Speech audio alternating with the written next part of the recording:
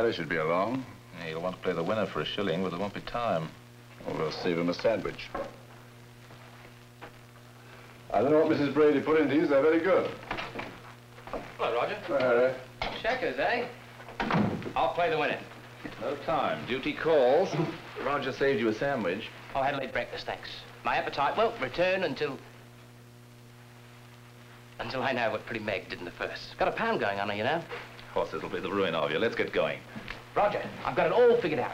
When I get a little money together, which might be any day now, eh? I'm going to turn bookmaker. 130. Now, if all horse players die drab, as you insist, the bookmakers must be getting their money. So I'll be a bookmaker. Still be betting the horses, but the odds are...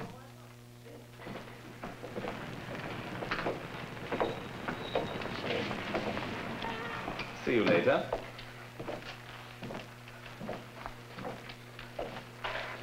You're not supposed to be behind the counter. It's quite against the rules. I'm sorry. Is that the money for the racetrack? It is. 60,000 pounds? Exactly 60,000. But see here, you know what Then I'll be business is taking it and leaving. Don't turn around. Keep looking straight ahead.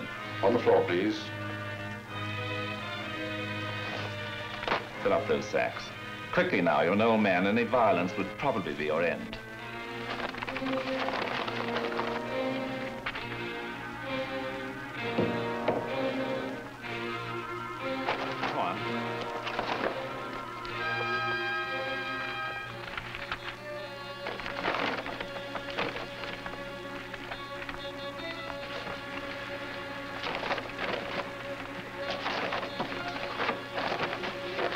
Thank you very much. Now, please lie down on the floor. I don't want to club you, but I will. Come along. Hands and feet together, please.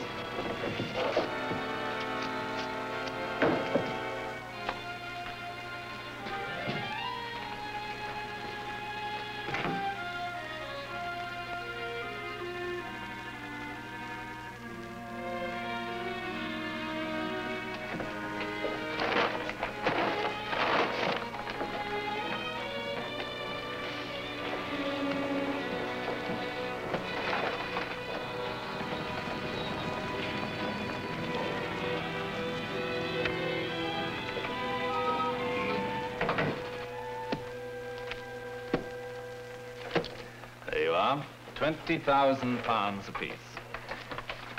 Did you notice the nerves on old Mark here? Never a quiver. He had that old codger jumping for him, I'll tell you. Was ever a hold-up stage so neatly? You already started breaking our agreement. I said if anything goes wrong, it'll be Harry's big mouth, does it? What do I do? We agreed we'd never mention the words robbery, hold-up, or crime. We never used them the minute we started planning, so let's not start now. No, you're right. I'm sorry. I wouldn't forget it again if I were you. Now listen. When we separate and leave here, it's goodbye. Each man's on his own. Not one of us will ever see the others again. It's a perfect job. Nothing in the world to connect us with it or with each other. It's a perfect job because it was planned that way and no one gummed up the operation. Now, a word of advice. If I were you, I'd put your shares away and keep them as long as you possibly can. This money's going to be hot, and if you start flashing a sizable amount, they'll nab you. And another thing, don't start collecting any newspaper clippings because the papers are going to be full of it. Just treat it normally. And don't ever think of trying it again. That's what's going to throw them. No previous method of operation, no repeat jobs. This is our first and our last. 20,000 quid apiece. That'll do me. Oh, what I could do with all this in one lump. It's a pity you didn't take my first advice and invest some of your earnings in some small business like my tobacconist shop. A chewing gum stand on the corner would have aroused suspicion if I'd invested in it. You'll be able to funnel your share through your shop without any trouble. You're lucky to be able to buy it. There's no luck about it. I saved for it. It was part of my plan. Oh, not at first it wasn't. You wanted the money for a good time, same as I did. I think it's the tobacconist's pretty assistant that's made any changes plans. You could be right. Floss is a wonderful girl. Be a nice nest egg to start a marriage on, that's for sure. Is that what you're thinking, Mark? Yes, I'm thinking about it, but I don't know whether she is. And I don't know quite how this is going to fit into it. Good luck, Harry. All right. Roger.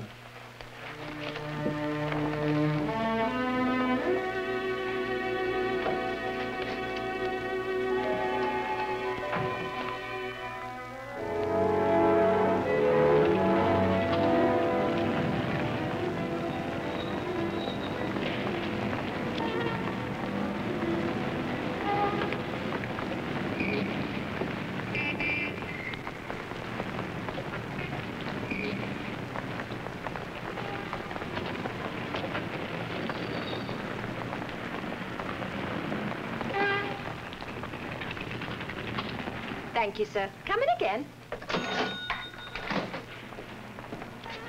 Uh, oh, excuse me.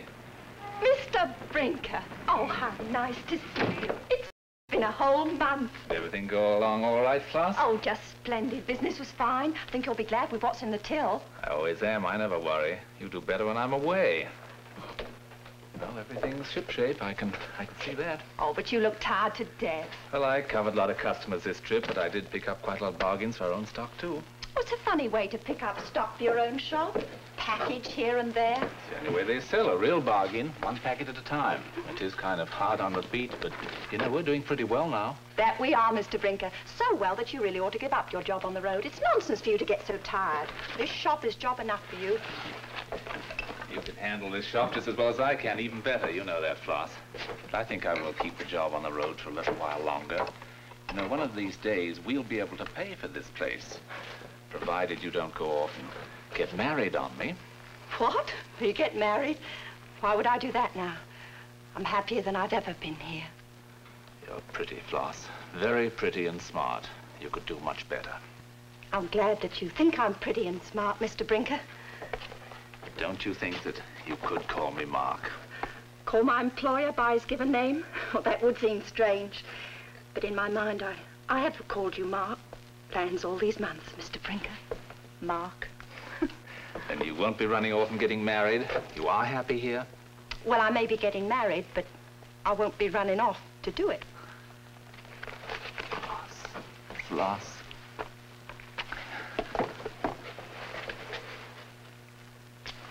Now, don't go proposing right after I've done the suggesting, or you'll be throwing it up to me for the rest of my life. I've had it in my mind from the very first day I ever saw you. That rag bag you took in off the streets and gave a position to. Yes, that long ago. Talking of rag bags, I've just thought of something. I've got a present for you.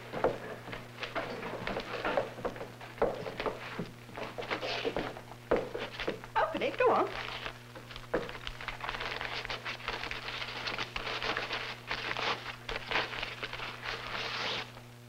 What a beauty. Do you really like it? My dear, it's much too expensive and good to even take out in the rain. You must have spent more than I pay you for a whole week on this. And what else have I got to do with my money? I'm overpaid anyhow.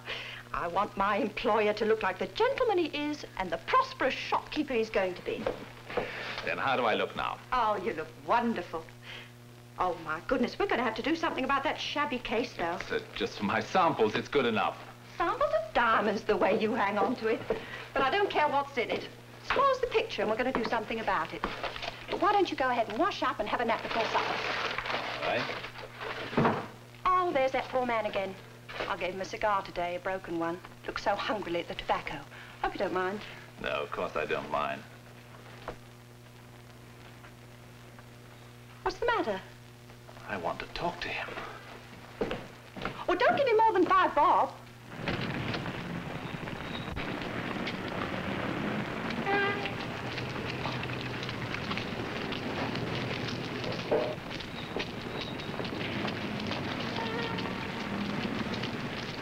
Roger?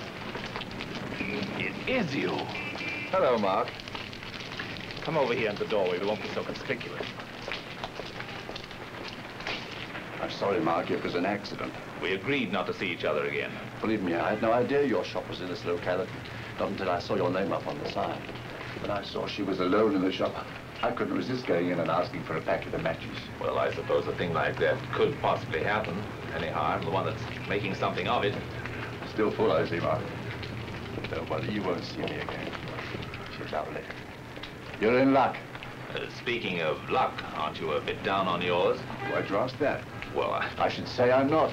I'm taking no chances. I moved into a cheaper room. I don't spend hardly anything. You mean you haven't gone through it all? Gone through it. I've added to it. Saving in the cheaper room. No, sir, Mark, that's going to last me. Good, I'm glad to hear it. Now, I think we'd better separate. Righto. Don't worry, you won't hear from me again. I'm glad things are good with you too, Mark.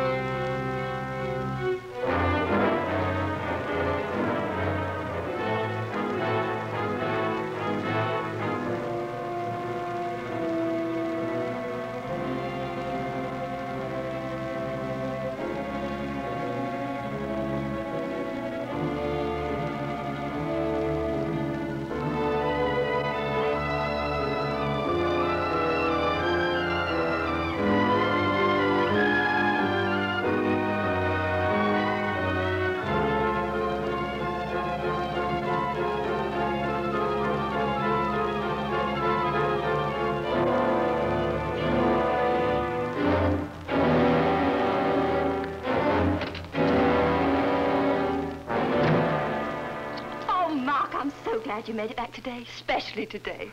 I never would have guessed it. Now I'm going to be crushed and smothered to death before I even learn the reason why. oh, I'm sorry, sweet. I don't even let a man put his packages down before I'm all over him like one of those constricted snakes at the zoo. I don't know, but I, I had a feeling that things might not be going well with you, that you might not make it back. Today, I mean. Things? What sort of things? Well, I don't know what you do on the road, really, so I don't know what sort of things might go wrong. I shouldn't have said that. Business is my end of the operation, dear. That's true, and that's the way it should be. The man's happiness is my department. That's why I'm especially glad you came home today. Do you mind terribly? I invited myself to your birthday party. You know, you're the only person in the whole world who remembered it was my birthday. Happy birthday, sweet.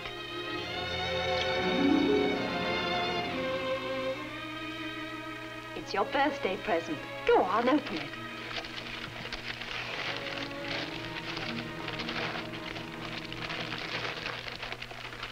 I've never seen such a beautiful case in my life. But it also explains why you haven't bought yourself a new dress for over a month.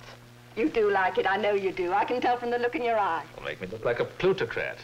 I'll have to increase the size of my tips. Good. Then we can throw this one into the waste paper basket. Wait! Give that to me. I... I mean, it contains all my samples, Floss. Well, then change them here and now, or I think you don't like the new one. I'll change them when I'm good and ready. I only have one rule. No one touches my sample case. That way, I will not lose it. Well, that's a habit, not a rule. but all your habits are good ones, and I'm not going to try and change a single one. Now, you come here and sit down. I'll get your slippers, then I'll do the dishes and be off. Eat and run on my birthday? Well, uh, not if I'm coaxed a bit. Come here.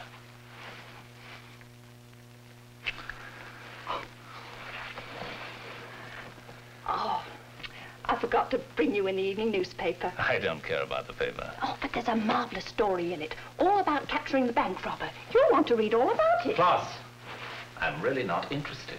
But you knew they got the fellow, didn't you? I read the headlines.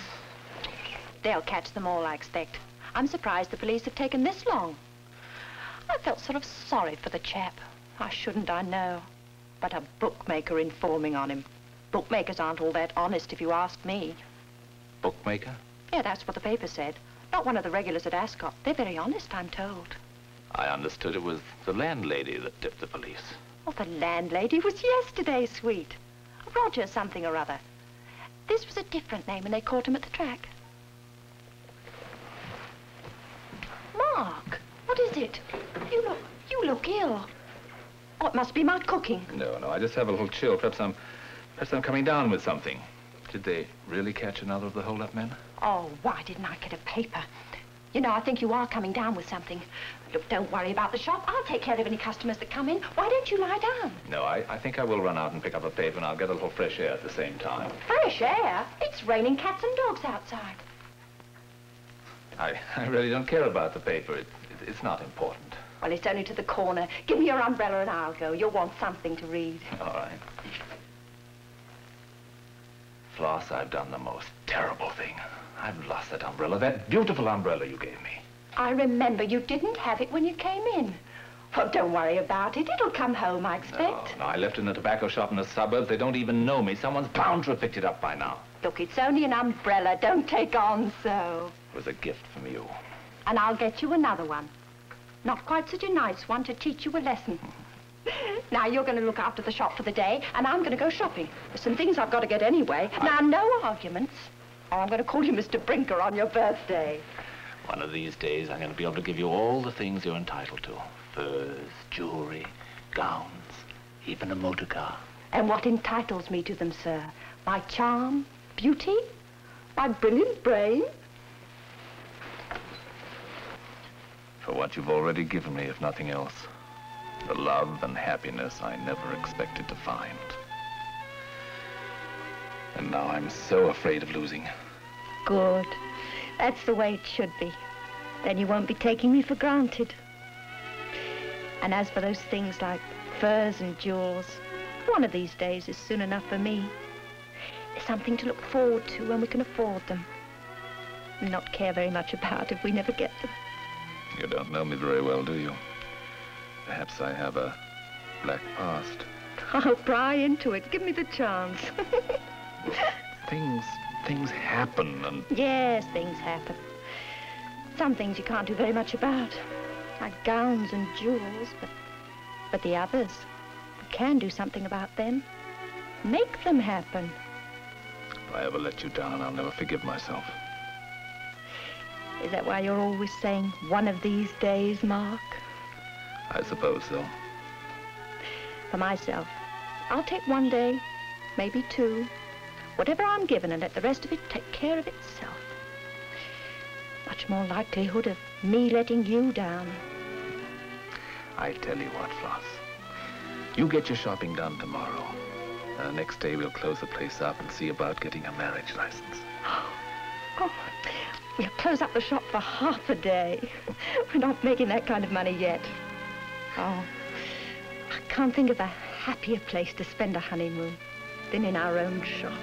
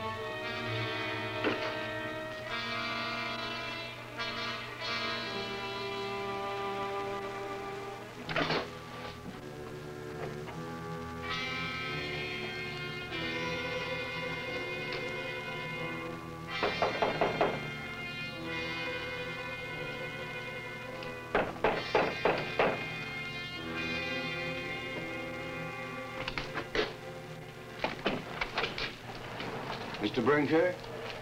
Yes. Come in.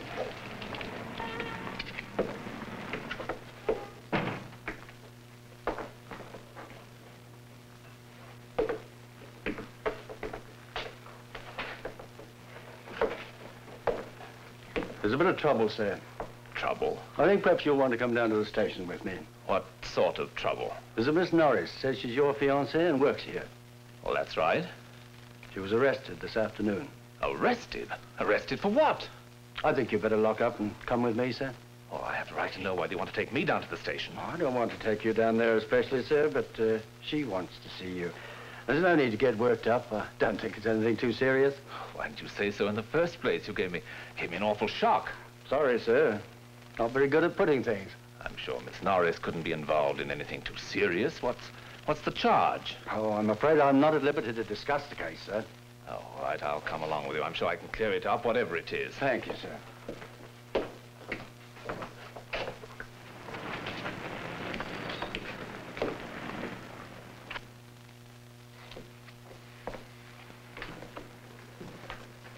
Shoplifting.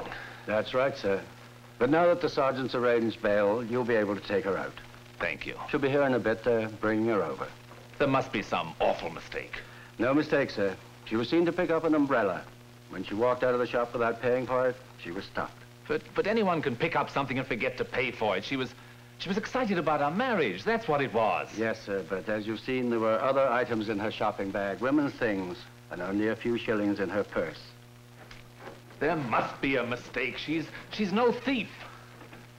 What did she say? She said she was a thief.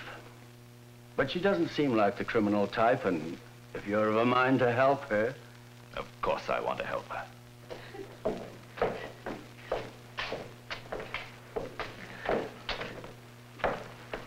Thank you for coming, Mark. I wouldn't have blamed you if you never wanted to see me again. Everything's all right here. We're going home. But how can we? Bail has been arranged. And when your case comes up, I don't think they'll be very hard on you.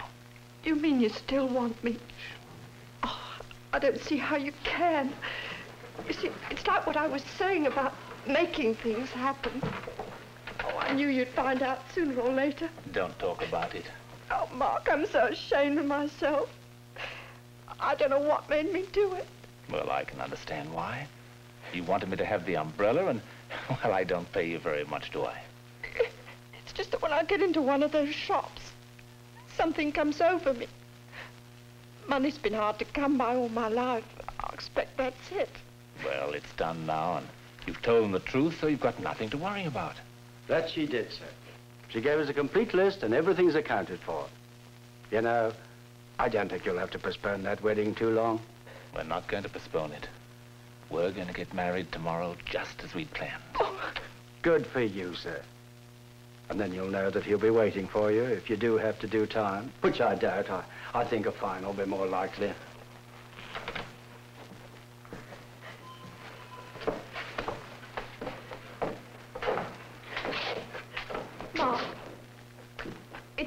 Important to you that I that I tell the truth, isn't it? Why, of course.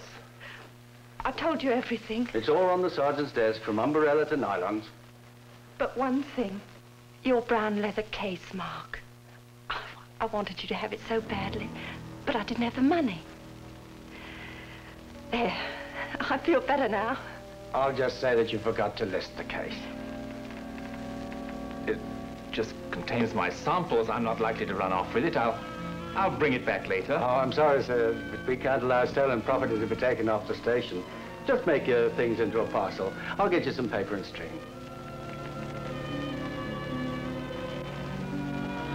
Thank you, sir. Oh, can I have the key, please?